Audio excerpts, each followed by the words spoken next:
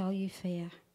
I pray as you open to speak today that there would be pure joy in your words, pure God. I thank you for Shirley. I thank you that she is so. What's the word? Obedient to you, Father. Obedient. And so I just ask you to give her all she needs now as she prepares to give us what it is you're trying to say to us and open our ears so that we will hear every single word. Amen. Thank you. Yes, Lord, we thank you so much for Shirley. We thank you for all the careful preparation she's made. But most of all, Lord, we thank you for the message she's going to bring from you, that you will have not just a main message, but something for everyone in here, that a word that they really need to listen to. And we thank you, Lord, that Shirley is so in tune with you that she can speak your words uh, clearly and loudly and well. Thank you, Lord.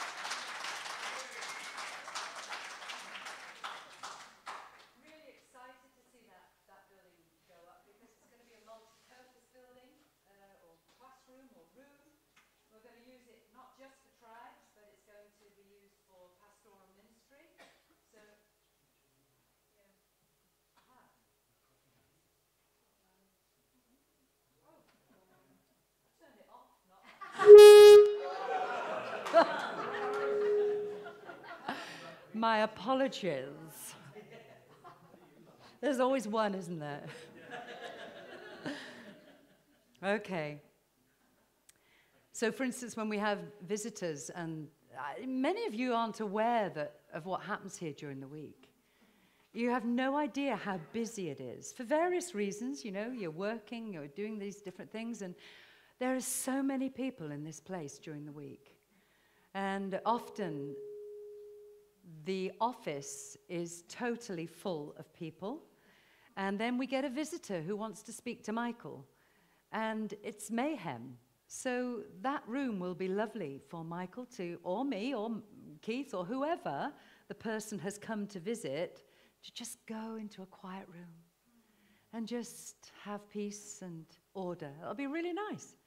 Not also, we do a lot of prayer ministry. We've been freezing in the Portakabin, as the children do. You know, having ministry in the Portakabin is not fun on days like this. So it's going to be lovely. We're going to have that extra room. And uh, prayer meetings. The prayer meetings that happen here, we can have them in a small heated room instead of, you know, in the cold Unit 6. I think, well, I think we should call Unit 6 the hub. What do you think? The hub? Because Unit 6 is a bit sort of nothing, isn't it? Why don't we call it the hub? Pastor? Okay, it's agreed. Okay. So instead of sitting in the cold in the hub, we can go into the, the uh, small room, which we still have to name. Okay, we have had an amazing time uh, over this last year when God has really blessed us. This is Father's house, and God is in the house. Amen. Um, but I want to encourage you that uh, uh, we still have a long way to go. and that, that room next door is just the first of three, three, four rooms altogether, plus then more toilets and a, and a kitchen that we want to build. And so I want to encourage you to come to the Curry Cabaret on the 7th. okay? Um, would you come? Would you come and just have fellowship with us? And would you enjoy uh, either curry, if you like curry, or a non curry meal? There will be a non curry meal for those of you who have not quite reached the heights of spectacular food that curry is, okay? And they'll be vegetarian. We encourage you to come. Uh, we want to, we want to um, move forward, and we're now at a stage where we've, we've spent all the money.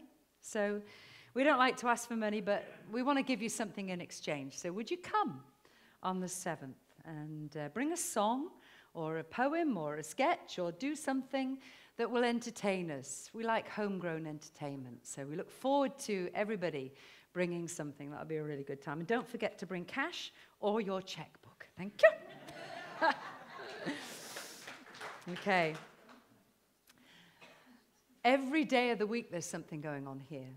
Tomorrow, there will be, I'm not sure whether it's Hebrew classes or Israeli dancing, but uh, on top of that, there is uh, an exhibition. This, the phot- photographic exhibition, which has been up here since we moved in here, is uh, being viewed by the uh, Liverpool Jewish community tomorrow. And praise God for that. Isn't that lovely? Um, Grace is here, and uh, she'll be here to take them through the, uh, all, the, all the, the meanings behind the, the photographs, the reason why they were taken. Um, and Sam cleans on a Sunday as well. So Sunday doesn't just stop. And then Monday, Tuesday, Wednesday, Thursday, Friday, there's a prayer meeting. Many of you have not made it to a prayer meeting yet. And, and although it was a year ago that I stood and I spoke and I said how important it is for us to pray. You know, prayer is the engine room of a church. And didn't Yeshua asked his disciples to pray? You know, tarry with me an hour, just one hour. And, um, and I personally have been so blessed by these prayer meetings. We pray according to what the Holy Spirit uh, reveals to us, unless there's something specific. And it's a real blessing. And I just want to again urge everybody can you make one prayer meeting a week? Could you come? Could you pray? Because the more of us, the better. And I know that everybody has um, uh, difficulties and, and, and things to deal with, but I just want to, I really want more people to come and pray. It's so important. Uh, Derek Prince says that God does everything through prayer and he does nothing without it. And I can see answers to those prayers that we've been praying this year. We're in our, this week will be our 40th week of prayer. Six days a week of prayer. And it's important. I want to encourage you to come. We have the well meeting on a Tuesday. We have Bible discussion and fellowship. We have uh, various ministries. Has anybody noticed that more recently we've got the most beautiful flower decorations in our church?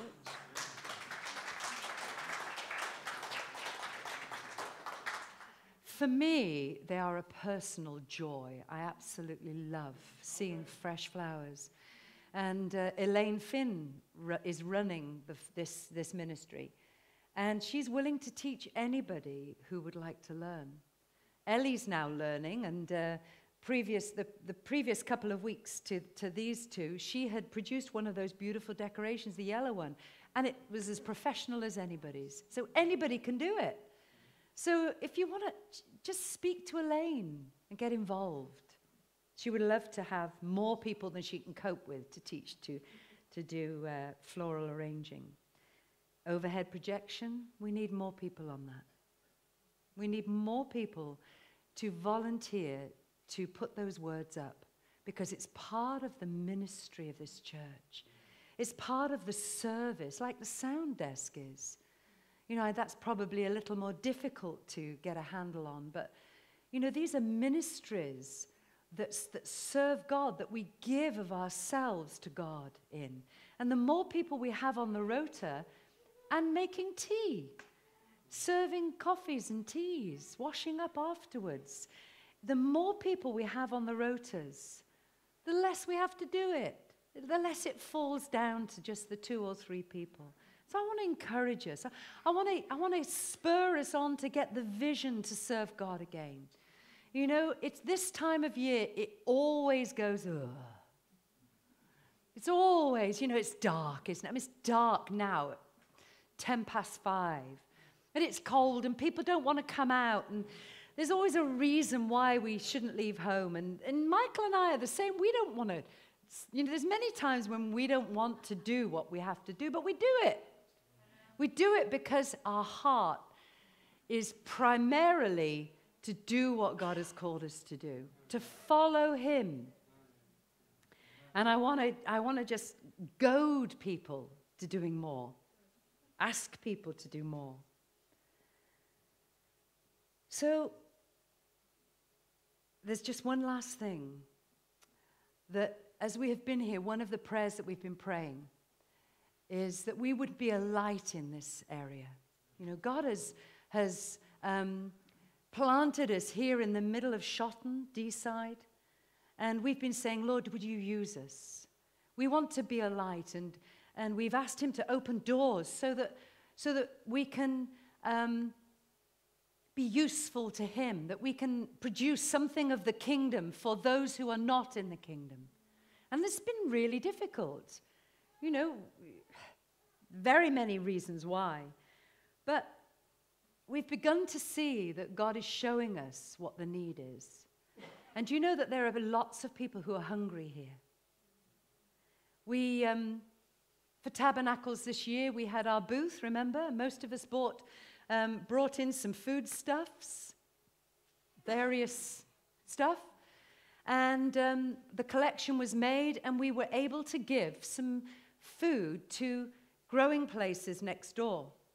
Now, those of you who don't come during the week, this place next door looks after special needs men, grown men, and gives them jobs to do um, gardening and digging and planting and sowing and you know, harvesting, and, and, and they used to come on en masse in a, in a van to Marleyfield when I, I used to bump into them when I went to see my mum. And uh, they also open up their doors and they have a wood turning class on a Monday evening. And some people who come to that wood turning class are hungry. Some people who come through the doors are hungry because they haven't got enough money to buy food. Michael went across to Red Bill. We've got relationship. We've built relationship over the years with all our neighbors. And Red Bill, the, my, the man there, what's his name, Michael? Uh, Gary. He said, um, Do you do meals over at your place? I said, I've, I've got this friend who's he's got 160 pounds a month to live on. And you know what? That's not a lot. I can spend that in a week. Most of us can, with families to feed and so on. It's a, not a lot of money. And he's hungry. And, and he, Gary knows that he's hungry and that he hasn't got enough food. So, one of the things that we're doing from now on, if you go to the kitchen, you'll see a black bin. Bring, go to your pantry and see what you've got left over. Bring what you've got, and we're going to start giving it out. Maybe, maybe somebody has got a, a vision for doing a, a cafe, not a, not a full on cafe, but just doing a lunch once a week. Maybe on a Thursday when we're closed, when we're, we're, we're busy, when we have our day off. I'm, I'm saying that because we're up to here. We need, we need the body to get the vision to do the things that we can't do. Maybe somebody'd like to make soup and, and, and a sandwich, a soup kitchen. And that we might just begin to get a trickle of people who are hungry for physical bread who might then understand that there is spiritual bread to be had. Amen.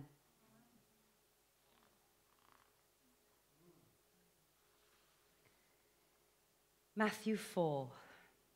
Very simple word this week. Really, it's about the call of God on our lives. The call of God is the same for each one of us. And it's the same now as it was 2,000 years ago. Matthew 4, starting at verse 18. As Yeshua was walking beside the Sea of Galilee, he saw two brothers, Simon called Peter and his brother Andrew. They were casting a net into the lake, for they were fishermen. Come, follow me, Yeshua said, and I will send you out to fish for people. At once they left their nets and followed him. Going on from there, he saw two other brothers, James, son of Zebedee, and his brother John. And they were in a boat with their father Zebedee, preparing their nets. And Yeshua called to them. And immediately they left the boat and their father, and they followed him. Simple as that. Please don't leave.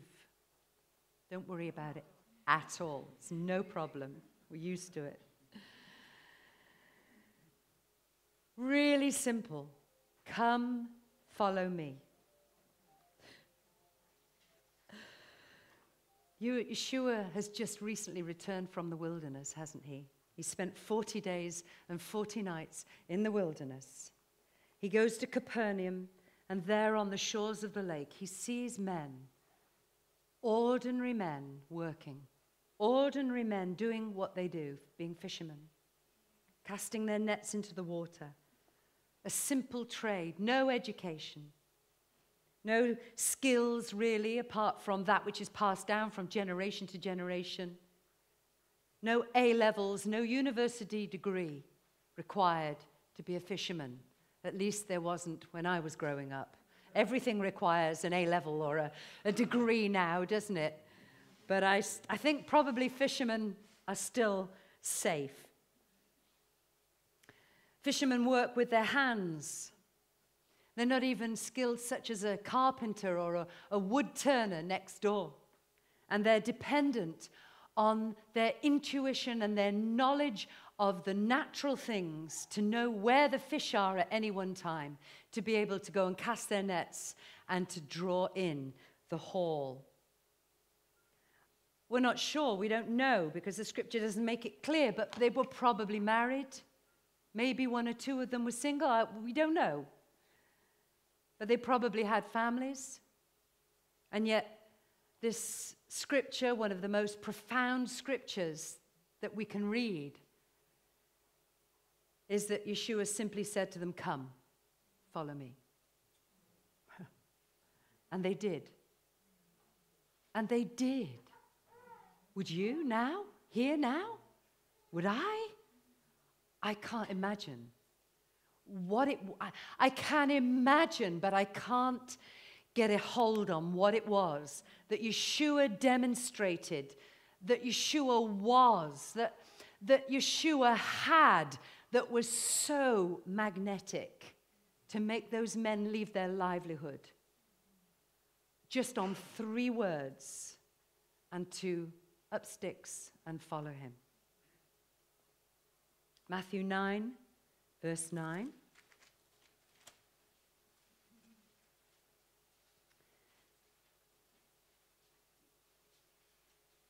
As Yeshua went on from there, he saw a man named Matthew sitting at the tax collector's booth. Follow me, he told him. And Matthew got up and followed him. Again, Simple as that. Now, Matthew, we understand to be an ordinary man. He was named a sinner by the Jews, but he was doing a job for the Romans. He'd probably been forced into it. It wasn't his choice, but he was forced into it probably because he did have some skills, or he did have um, a, a, level of in, intelligence that was regarded as being one who was able to do all the calculations necessary to be a tax collector but it wasn't really much of a job in everybody else's eyes. Hated. Probably better paid than a fisherman as well. Probably better paid, but he heard the call, didn't he? And so it didn't matter. When it comes to his response, he's the same. It's on the same level. Come, follow me. And he did. So the call went out to rich and poor alike. No respecter of persons is our God. And we remember in Luke 18 22 that a rich young man responded, didn't he? And the rich young man came to him and asked him questions, and he said, What must I do to inherit the kingdom of heaven? And Yeshua says to him in Luke 18, verse 22, when he heard him, he said to him, You still lack one thing. Sell everything you have and give to the poor, and you will have treasure in heaven. Then come, follow me. Luke 18 28, Peter said to him, We've left all we had to follow you. And John 1, the first chapter of John, John 1 recounts how Yeshua found Philip an instant believer. He, as he was going around, he found him, he was an instant believer. And then he found Nathanael a skeptic. Does anything good come out of there? I don't think so. And what did Yeshua say? Regardless. He didn't say, You've got to believe in me before you can follow me. You've got to have some understanding of who I am before you follow me.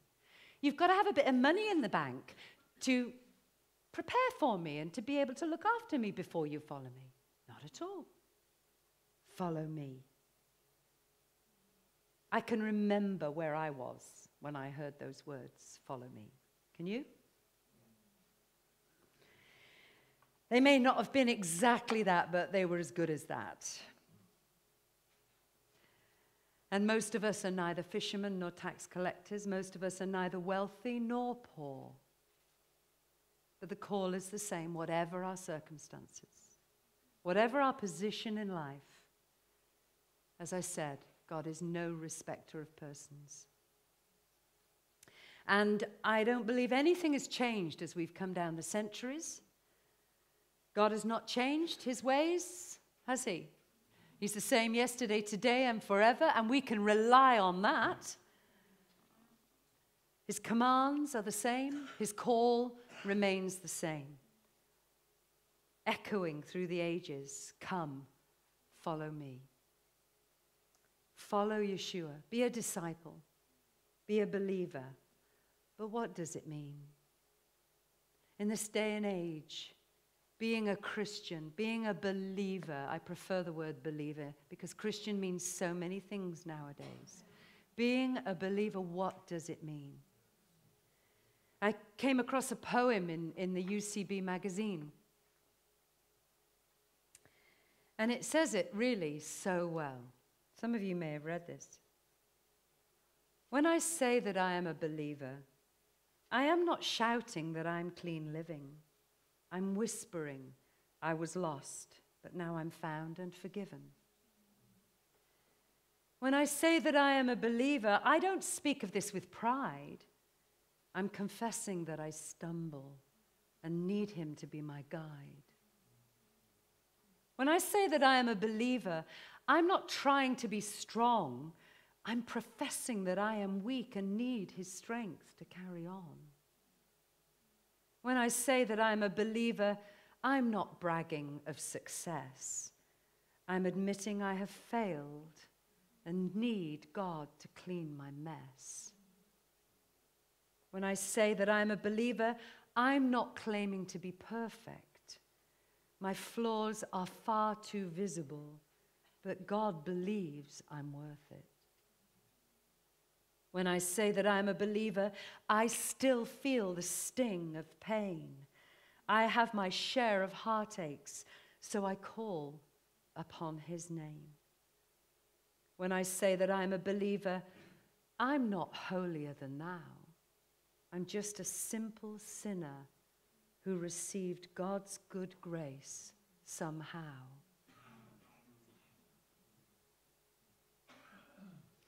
Our transformation from unbeliever to believer renders us all unqualified. And I will unpack that a bit more. Unqualified to take credit for anything that God has either given us or enabled us to do. And that includes everything, actually. And whatever job those men whom Yeshua called to follow him back in those days when he walked the earth, whatever they were doing at the time, whatever position they held or not, they were all individuals, just like you and me, unique personalities with their own individual temperament. Describes us all, doesn't it, really? We're all unique individuals with our own unique personality or temperament. We're all different. It's the amazing thing about God, how He's made us all so unique and yet so unified in His Spirit and through Him. Hallelujah. And we've all said yes. I don't think there's anybody here who hasn't said yes. I will follow you. But the thing is that the journey that Yeshua brings us what he presents to us, where he takes us, is costly and it's challenging, it's painful, and in the main, it's hard. and many turn back in greater or lesser degrees from the fullness of his call on our lives.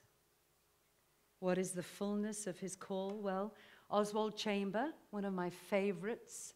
And there, I think there are a couple of his daily reading books available in the left in the, uh, on the bookshelf uh, in the shop of his daily readings, which are transforming. If you've never heard of Oswald Chambers or if you've never read my, his utmost for my utmost for his highest, then please do.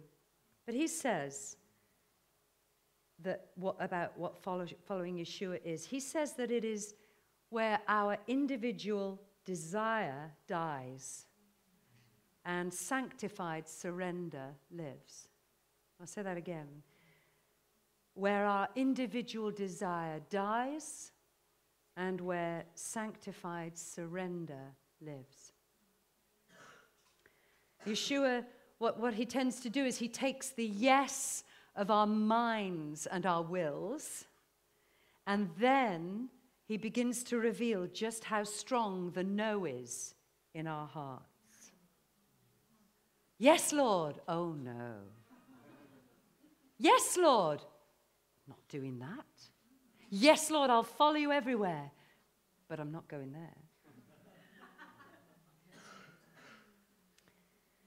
and for those simple fishermen, as it has been for us, uh, we've embarked on the trip of a lifetime in my opinion. I feel as though this last 30 odd years has been just the most exciting time, but it's been hard. And I know that you would, you would agree with me on that. I often wonder what it must have been like for those, those fishermen, you know, hoiked out of, uh, uh, out of obscurity. I mean, who were they? They were fishermen. They went out on their boat by themselves. You know, they were just nobodies. They fished for fish, they came back, they sold it. You know, apart from the local people who bought the fish, they, they weren't known by anybody. And then suddenly, the spotlight's on them because they're with Yeshua. A man who drew thousands when he preached. And a lot of them were given jobs to do, weren't they? I, I like to think of them, you know, no, you stay, like Mark, you stay back, you stay back, okay? No, no, no, no, don't crowd him, don't crowd him. It's me. I'm with Yeshua. See my badge? Yeah. I'm responsible for Yeshua, for his safety. they were identified as his disciples. They shared meals with the one who stood up against the authorities and gave it them good style. Didn't he? Hey, Peter, did you hear Yeshua call those Pharisees hypocrites?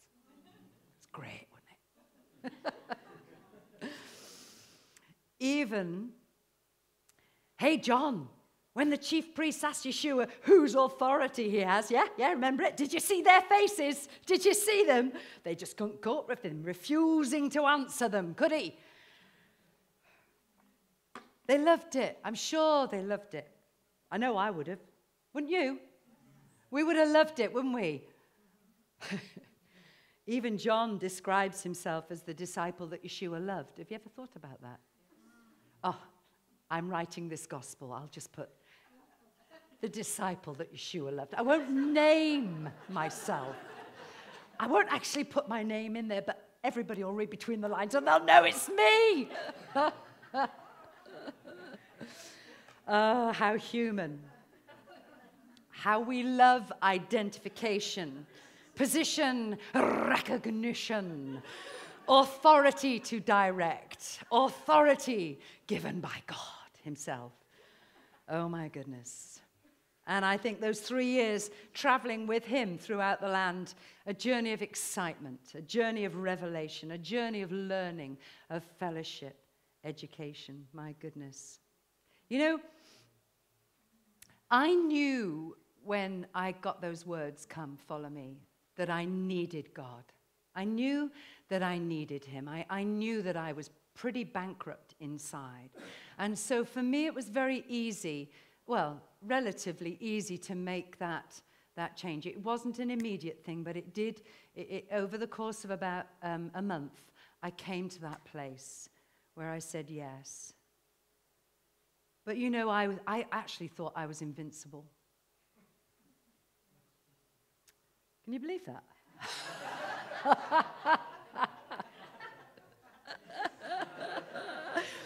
when I got saved, I knew I could move mountains. No, no, no, I didn't just think. I knew it. I knew it, yes. I prayed for everything from a deaf ear to a sick budgie. I did. I prayed for my canary at the time and it got healed. Hallelujah. Nothing was too big or small for my faith. They say that um, new Christians are the most bubbly and most nauseating of the lot. I was the nauseating one. and I ate the word like uh, someone who was starving. I went to every meeting. I just threw myself uh, in up to my hair follicles and loved it. It was great. The, disu- the, the disciples? I was writing this, I was just checking it over this morning, and I changed one of those typos. Instead of come follow me, it was cone flulo me. I think I like that better, actually. so the disciples came. And they said, Yeshua, we need a change of clothes. And his answer was, You of little faith. They're with him in the boat, and a storm whips up, and they cry out to Yeshua, Save us, save us, we're going to get drowned. And he said, You of little faith. Peter stepped onto the water in response to the call of God, the call of Yeshua to come. He's seized by panic. Yeshua's response You have little faith. And after a while, I began to realize that not all believers, not all people who said they were Christian, were the same as me. Did you find that? You know, I just thought that every person who said they were a Christian would just have this amazing revelation of the glory and the light and the color and the distinction and the clarity and the excitement that, that I had, but it wasn't so.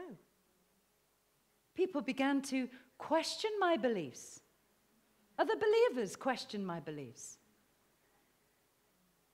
And they would dismiss me and they would say, No, I'm sorry, dear, you're wrong. And because I was only young and because I didn't have what I've got now, a lot of bottle, I, I used to believe them when they said, No, you need to look at that again. That's not what that means. Quashed. Your disciples couldn't get rid of my son's epilepsy. Yeshua's answer you unbelieving and perverse generation. And he's speaking to the disciples. How long shall I stay with you? How long shall I put up with you? Matthew 17 17. How did they feel? Peter said, Explain the parable to us. Yeshua's answer, Are you still so dull? Matthew 15 15. How did that fig tree wither so quickly? If you have faith and do not doubt, it'll be done. So then comes the trial, doesn't it, in our lives? After the honeymoon, times of darkness, times of suffering, times of hardship. Certainly happened in my life, the valley of the shadow of death. And the temptation to give it all up must have been wrong. I must, I must have somehow got that wrong. I must have, because it wouldn't be so hard otherwise, it wouldn't be so difficult. And uh, you're faced with the choice Am I going to follow him or am I going to give it up? Am I going to take the easy way? Because it's actually all or nothing, isn't it? And you weigh it up all although it feels like nothing, or nothing, and it really is nothing. On hearing this teaching, many of his disciples said, This is a hard teaching. Who can accept it? From this time, many of his disciples turned back and no longer followed him. Then Yeshua said to the twelve, do you also want to go away? John 6 66.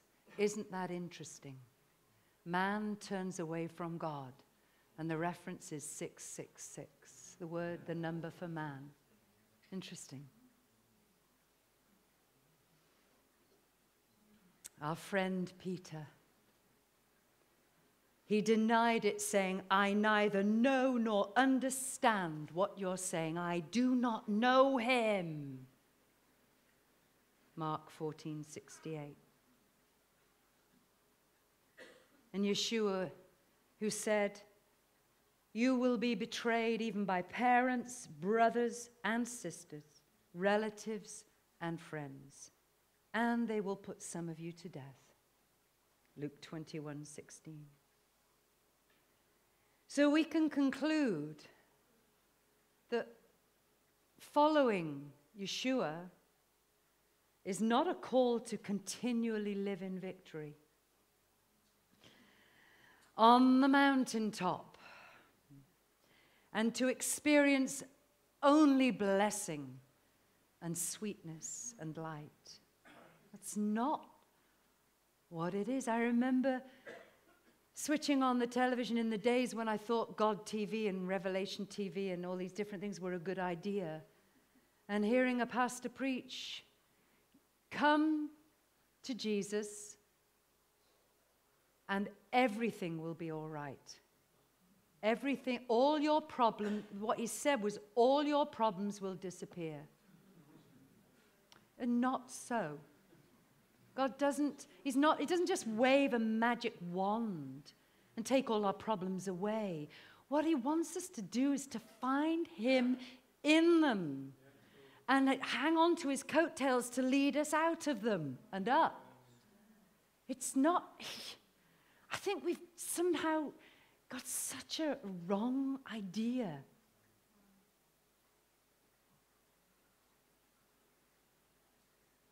More importantly, following Yeshua is all about surrender and letting go. And being stripped down. When I was growing up, um, it was in the days when you never got rid of a car, but you serviced it, you put oil and water in it, you decoked it, whatever that meant, and you stripped it down. And my father would take the engine, and I know that your family did, Michael, took the engine of a car and they'd meticulously undo it and put it, lay it all out, clean it all up, and then put it all back together. I mean, what's the point of that?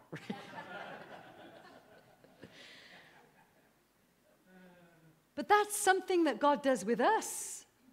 And if you hadn't realized that when you said, Yes, I'll follow you, then you're in for a rude awakening because it's not very pleasant. It can be so hard to be stripped down, pulled, feeling as though you've lost the plot somehow. but what it does is it brings us to a place of identifying with Him in His suffering. Paul understood this, didn't he? He says in Philippians 3, verse 10, I want to know Messiah. Yes, to know the power of his resurrection, which we all think is what it's about. Yes, the power, the power, the power. The power of God, yes, the, the, the gifts, the gifts, the gifts, everything. But actually, that's just part of it. To know the power of his resurrection and participation or sharing in his sufferings. Becoming like him in his death. My goodness, that's a sermon in itself. Romans 8 17 says, Now if we are children, then we are heirs, heirs of God and co heirs with Messiah. If indeed we share in his sufferings, in order that we may also share in his glory. So, what he's saying is, as his children, as those who are following him, seeking to be his disciple, then yes, we have the heritage of God available to us.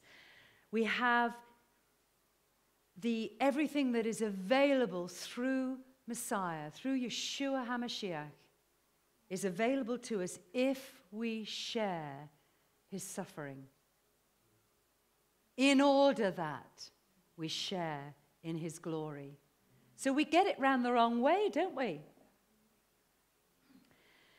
And I want to just say categorically that every lesson we learn, every disappointment that we overcome, every trial we come through because of Yeshua in us is for a reason.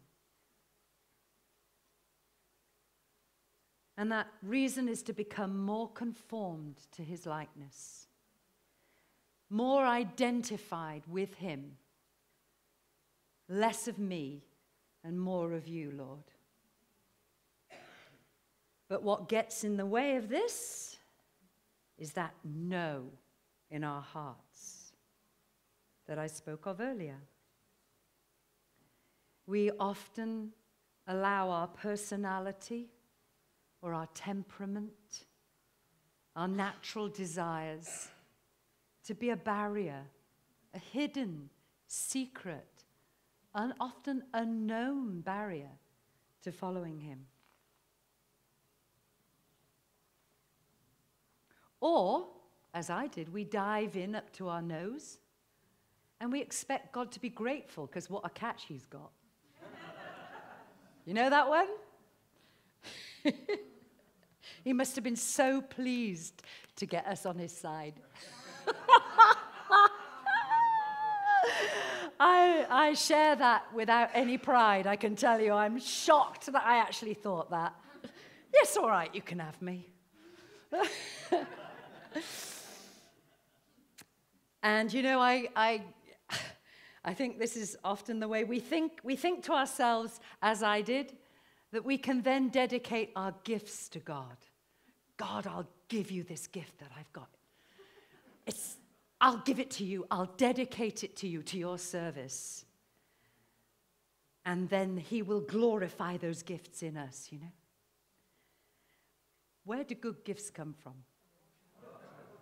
Do you usually give something that somebody's given you back to them? No. It doesn't work, does it?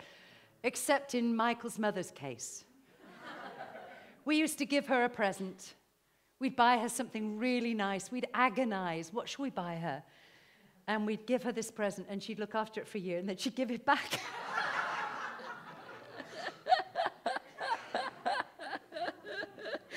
oh, dear. so we, we, they, these gifts that God's given us, that we have, that we operate in, they're His already. We can't give them back to Him.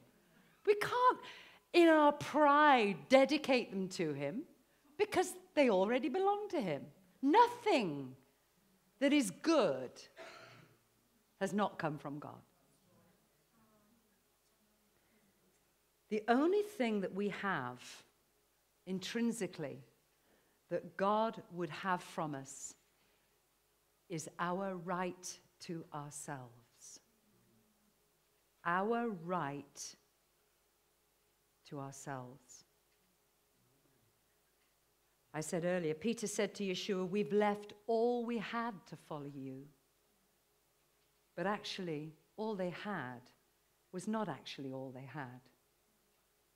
Peter was speaking of the physical things of life, of the wives and the children and the job and the income and the home comforts. Physical things, but Yeshua is far more interested in our souls. Did you know that? He's really not interested in, in the physical side of our lives. He says, don't worry about those things. Don't labor uh, for, over those things. You know, look at the flowers, all those things, you know, you know the scriptures. Don't worry about those things. I'll sort those things out for you. But how's your soul today? How's your attitudes? How how are you speaking to others? How are you behaving with others? How's the love in your heart today? Have you actually done, said, or thought something loving towards another person today? That's what he does, isn't it? And that's what goes, makes us go, ooh.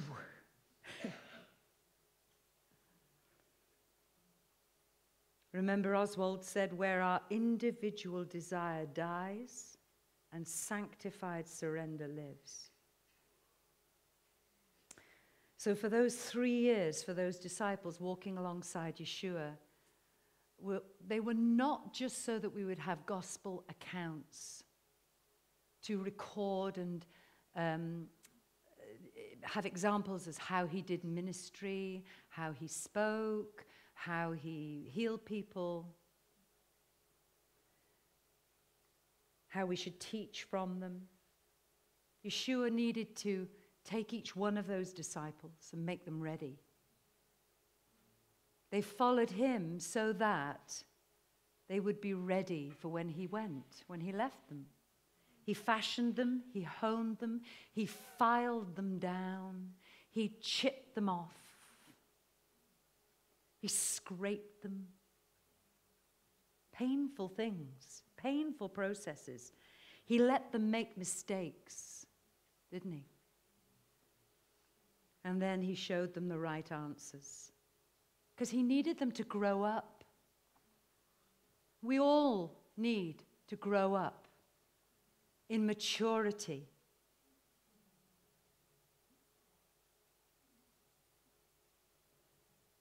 to understand who he was, his authority, his divine purpose, to bring conviction enough to say, You are God the Messiah.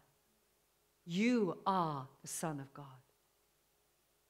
He needed their words to reveal the state of their hearts. And have you ever heard words coming out of your mouth that have made you go, Oh, I wish I hadn't said that? Oh, why did I do that? oh, I let him down. I've let myself down and I've let God down. Out of the heart, the mouth speaks. So when we hear things coming out of our mouths that we don't want to hear said, it's a heart issue. It's not their fault. It's not the person whom you said the words to. It's yours truly. He wanted them to understand what they were capable of when they were squeezed beyond their capacity to bear it. And sometimes we have to get there.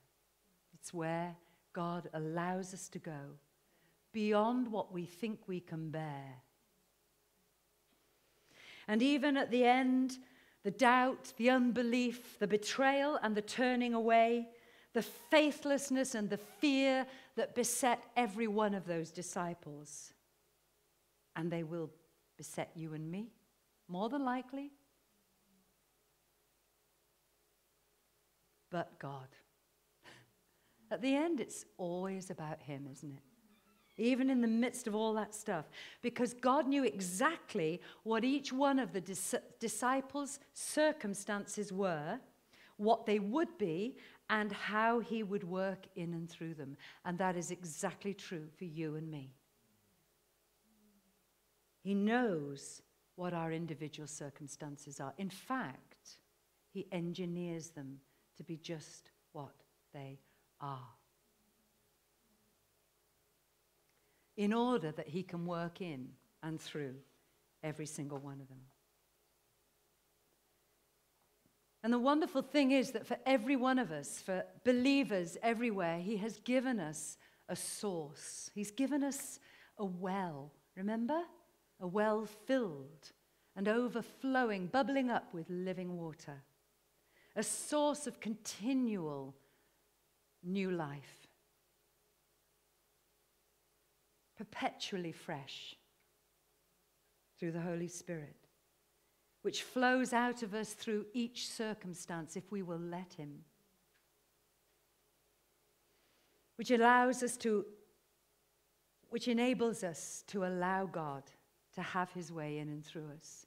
Because honestly, if we don't have the Holy Spirit, then we're pretty useless. You know, we fall into religion.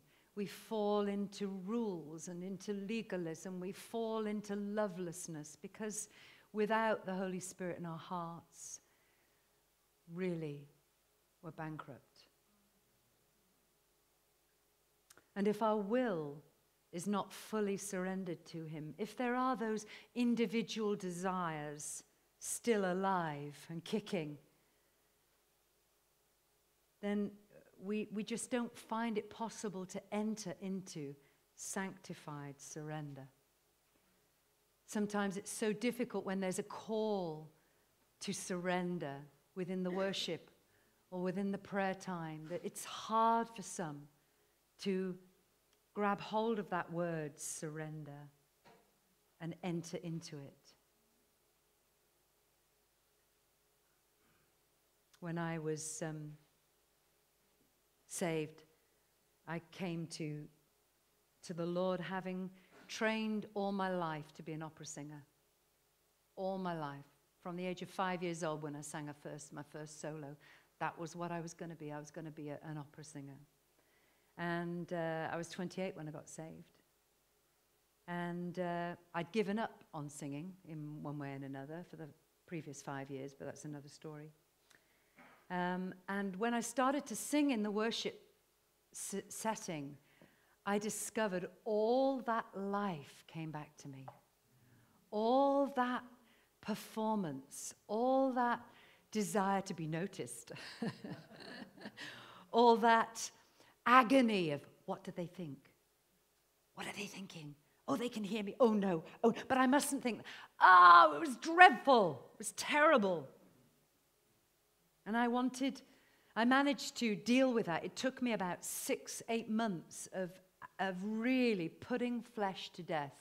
And I, I, I, I got, got that sorted in the end to the point where now I couldn't care less. I really, really could not care less what anybody thinks.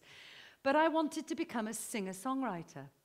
I wanted to write songs. God was giving me songs. I wanted to be a songwriter.